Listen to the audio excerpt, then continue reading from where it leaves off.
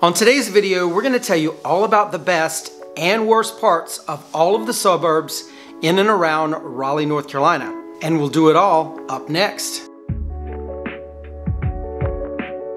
Hi, this is Chris Morton, real estate broker with eXp Realty in Raleigh, North Carolina. On today's video, we're gonna detail all of the best parts and worst parts of the suburbs around Raleigh, North Carolina. We hope this is gonna be a handy guide for you if you've just recently moved to Raleigh and not sure where you wanna buy a house, or if you're out of town and contemplating moving to Raleigh, we hope this is going to give you an easy, understandable pros and cons list for each of the suburbs. And so, in no particular order, let's begin with Cary, North Carolina. So Cary is amazing amazing suburb of Raleigh, especially because it is close to everything. It is extremely centrally located, has a really great international food scene, has tons of green space, parks, and places for you to go if you like to be outside, and is very well organized and very well planned, pretty easy to get from point A to point B. The negatives of Cary, North Carolina it completely lacks the southern charm that you're gonna find in some of the other suburbs and in Raleigh. It's mostly built out. There's not a whole lot of new construction going on. It's very expensive to buy a house in Cary, North Carolina, especially relative to some of the other suburbs. And because it's so centrally located and has so much going for it, it is a very, very, very competitive housing market. Homes in Cary sell within hours sell for 25 to 100,000 or more over asking price. And very, very often houses that are on the market in Cary are resulting in multiple offers and a bidding war. Next up, we have Wake Forest, North Carolina. The positives of Wake Forest, it's growing with lots of expansion. It is one of the most popular suburbs. Wake Forest is really beautiful. It's located near and on Falls Lake, so there's lots of great opportunity for boating, hiking, swimming, all of those sort of things. It has an amazing historic downtown, very, very charming definitely worth your time if you are living in Wake Forest or just coming for a visit definitely check out downtown Wake Forest and there's still plenty of opportunities for new construction in Wake Forest. The negatives of Wake Forest, traffic and commute times are getting worse and worse. It's getting very populated and so therefore you're getting a lot of, a lot of cars on the road during rush hour. Another negative, home prices have increased quite a bit in Wake Forest over the last few years. It's fairly distant from Research Triangle Park as most of the new construction that's happening is happening to the north and to the east of Wake Forest. It therefore is very difficult up to an hour drive to get from Wake Forest to Research Triangle Park. And unfortunately, roads are not designed very well. This is not like Cary where everything was completely well laid out. Wake Forest started as a tiny little community and has grown and grown and grown. And the growth has resulted in a lot of really wonky roads. Next up is Morrisville, North Carolina. So the pros of Morrisville is location, location, location. It's super close to the airport. It's super close to Research Triangle Park and has tons of international restaurants. It's a great place to live if you're not a big fan of long commutes. The negative of Morrisville, it unfortunately has no downtown, no charm, none of that southern charm we talked about earlier. And there's not much new construction going on right now. Prices starting on at about $450,000 and going up from there on new construction currently. Another negative of Morrisville, it has a lot of warehouses and industrial buildings, especially closer to the airport. And speaking of airport, the biggest negative of Morrisville is you're getting a lot of airplane noise. Next up, we have Apex, North Carolina. So Apex's pros are that they has an amazing downtown in Apex. It's right on 540, so therefore it has really easy access to the airport, Research Triangle Park, and just about all of the triangle. Apex also has a lot of new construction going on, so there's lots of opportunities to buy new construction as well as resale. And Apex is super duper close to Cary, so you're gonna get all of the amenities that Cary has to offer for just a fairly short drive. In fact, it's very difficult to know when Cary ends and Apex begins and vice versa. They're that close. There are some negatives of Apex, unfortunately. It is quite a drive to Raleigh. Home prices have increased quite a lot due to the fact that Cary is getting somewhat built out.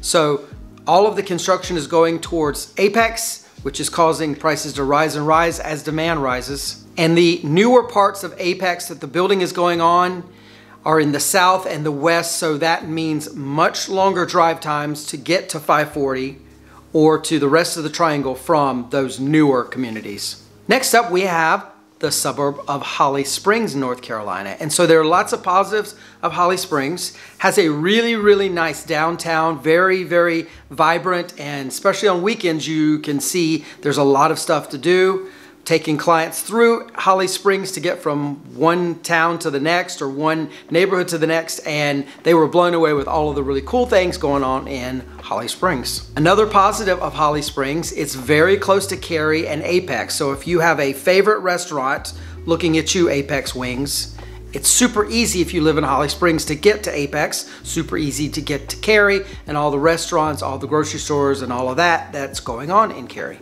And there's also a lot of new construction opportunities going on in Holly Springs in addition to all the resales that are out there. The negatives of Holly Springs, unfortunately, there's not a lot to do. So you are gonna have to drive to Apex and mostly Cary.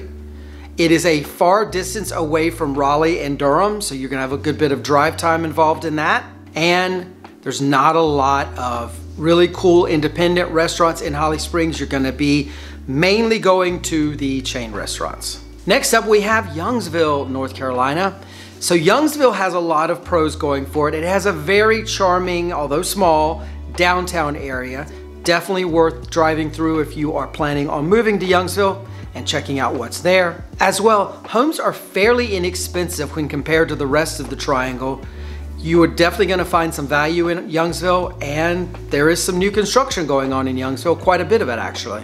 And Youngsville is extremely close to Wake Forest. You have about a 10 to 15 minute drive to get into Wake Forest with all of the restaurants, all of the shopping, grocery stores, on and on that you're gonna find in Wake Forest. The negative of Youngsville, it's pretty much far from everything except Wake Forest. So you're gonna expect a lot of drive time, especially if you were to work in like Research Triangle Park. It's even worse than if you were living in Wake Forest. And as I mentioned before, the downtown is really charming and cute. Unfortunately, it's really small. Not a lot to do there, great place to go, but don't expect you're gonna spend your entire day or evening hanging out and enjoying the nightlife of Youngsville. There's just not any of it. And unfortunately, there's very little shopping, grocery stores in Youngsville. You're gonna have to drive to Wake Forest.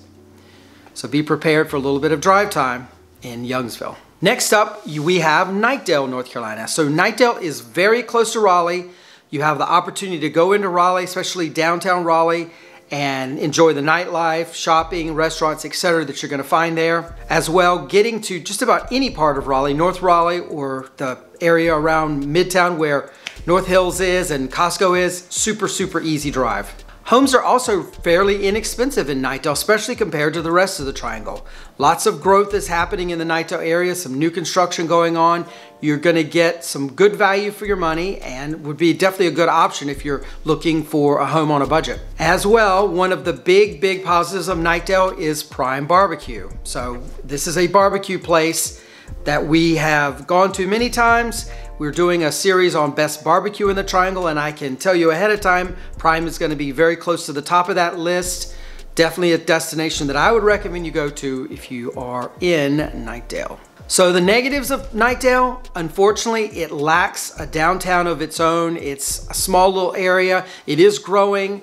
We expect that there's going to be more of a vibrant downtown happening soon. There's talk that there's going to be a food hall in Knightdale, so that's in that downtown area. That's definitely going to help. And it's near Prime, so plus plus equals yay. Unfortunately, also Knightdale lacks character. There's not a lot of charm about it, especially Southern charm. Hard to tell where you are based on what you see because there's gonna be a lot of chain restaurants, a lot of chains, big box stores, that sort of thing. Next up, we have Garner, North Carolina, and Garner has a lot of pros of its own. It's very, very close to Raleigh. You can be in Raleigh within 8, 10, 15 minutes from your home in Garner, which is very, very cool. And it's affordable compared to a lot of the other suburbs around Raleigh. And eventually, Interstate 540 will be going around Garner, making it super convenient to get from Garner to Research Triangle Park airport, etc., etc. The negatives of Garner, unfortunately, there's not a lot to do there. To get your nightlife restaurant fix on, you're probably gonna have to go to downtown Raleigh, so it's a little bit of a drive. Again, 10, 15 minutes, so it's not like you gotta drive an hour, but sometimes it's more convenient to drive three minutes than 23 minutes. It's lacking in character and that southern charm we talked about. Downtown is basically one single street, not a lot going on. It's cute, but not like this vibrant downtown like you would see in some of the other suburbs. And unfortunately, like Knightdale, it has a lot of chain restaurants, chain shopping, all of that sort of thing. Not a lot of independent opportunities to go out dining or shopping. Next up, we have Fuquay Varina, North Carolina. And yes, it's pronounced Fuquay Varina. We get a lot of people me messing that up, mixing that up. So Fuquay Varina was the merger of two little towns, Fuquay and Varina. So it has two downtowns. The Fuquay downtown is my favorite. Super cool, and in fact, it's one of my favorite downtowns in the entire triangle. Super charming, great restaurants, Vicious Fishes is there. So if I ever am out showing property to any client coming into town, they get to go see what Vicious Fishes is about. Have not had a bad meal there, love the place. As well, they have coffee shops, Stick Boy cinnamon buns at the Stick Boy Bakery, on and on and on, really, really cool downtowns. Fuquay Varina also has a lot of new construction opportunities and it's probably one of the biggest growing areas of the triangle. You can get a lot of value for your money, although prices range from fairly inexpensive to all the way up to $700,000, $800,000 if you want it to. So another positive of Fuquay Varina is it's less likely to get snow, if you're anti-snow, than some of the northern parts of the triangle. So you are not having to worry about being stuck home while everyone in Wake Forest, Roxboro, Youngsville are dealing with a few inches of snow. And eventually I-540 is going to come through Fuquay Varinas, which is gonna make it way more convenient to get from Fuquay Varina to Research Triangle Park Airport, all of that sort of thing. The negatives of Fuquay Varina, because of all this growth that I'm talking about, traffic can get a little congested during rush hour. It is far from a lot of parts of the triangle. You're gonna have to do a lot of driving currently until Interstate 540 gets through to get to Research Triangle Park or Chapel Hill, Durham, all of that. And because Fuquay Varina is so far from the other parts of the triangle, you unfortunately feel a little disconnected, like you're on an island to yourself. And lastly about Fuquay, because it's up and coming and growing, Parts of it are very much out in the country, so it has a very rural feel. For some people, that's a positive. For others, that's a negative. Next up, let's talk about Clayton, North Carolina. So Clayton's a great suburb of Raleigh. It has a really, really cool downtown with lots of new shopping centers opening up. It has a really affordable area. You can get a lot of home for your money in Clayton. It's also less likely to get snow as it is on the eastern side of the triangle. It's also very peaceful and very rural. That may be a positive or a negative depending on your lifestyle and what you're expecting. On the negative side, it's far from Research Triangle Park. It could take you anywhere between 45 minutes and an hour to get from Clayton to RTP. It doesn't have very much in the way of hiking, outdoor activities, lakes, that sort of thing. And not much to do outside of the downtown area of Clayton, unfortunately. And another negative, because there's not much going on other than in downtown Clayton, if you're buying a new construction home, you're probably buying something that's 10 or 15 minutes drive time from your home to the downtown. Next up, we have Wendell, North Carolina. So Wendell has one of the best downtowns in the triangle. Very, very cool. Lots of restaurants, lots of shopping, really nice, and most of it is in Independence. It is very close to Raleigh. As well, it's very close to Knightdale where you're gonna find all of those big box shopping. So if you need to get to Target, Walmart, you're maybe 10 minutes away from Wendell. Another positive of Wendell is Wendell Falls. It's a mega neighborhood, mega development with homes of all different sizes and shapes. You can get a home starting with a $325,000 townhome currently all the way up to a $750,000 larger detached home.